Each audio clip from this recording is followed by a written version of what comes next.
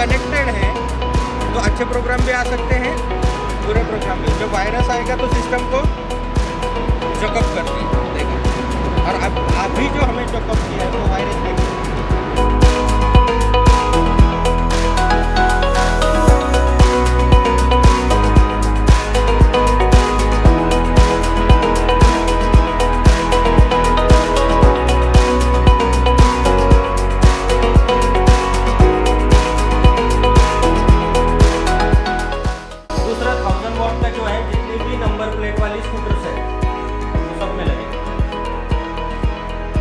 इसमें सेम तरीके से मोटर यहाँ पे लगेगा।